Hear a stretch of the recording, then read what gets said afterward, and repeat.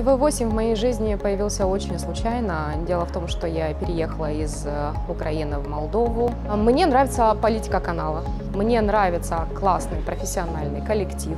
И мне нравится то, что канал развивается. То есть я все-таки вижу, что ТВ-8 через э, 5 лет будет э, очень прогрессивным, европейским, ярким и очень информативным каналом.